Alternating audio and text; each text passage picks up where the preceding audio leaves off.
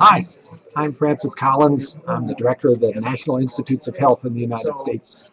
The question I've chosen is, please tell us what you care about, what future direction you seek, and how you will contribute to improving the state of the world. Well, uh, this is from Alain Wouters of Facebook.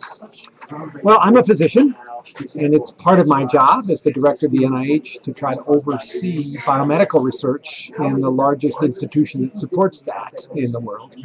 And one of my major hopes is that these advances in medicine, which are coming quite quickly, will in fact not just benefit the wealthy, but all the peoples of the world. And Davos is a place where we come together to talk about that. We are making great strides in terms of understanding the causes of infectious diseases.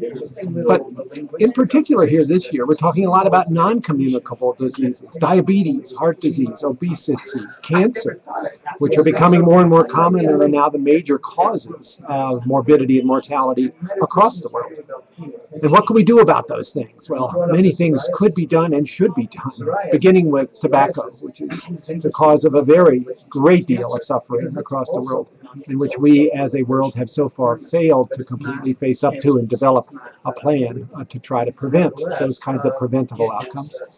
Many other things, though, we need to deal with the issue of infectious diseases. Right now we're facing a particular challenge about influenza. Is it possible that the bird flu may find its way into the human population? Many discussions about the appropriate ethical boundaries on research to look at that, because one would like to know answers but also keep people safe. So my hope would be that through the process of medical research leading to advances in preventing suffering and death, we could all agree on.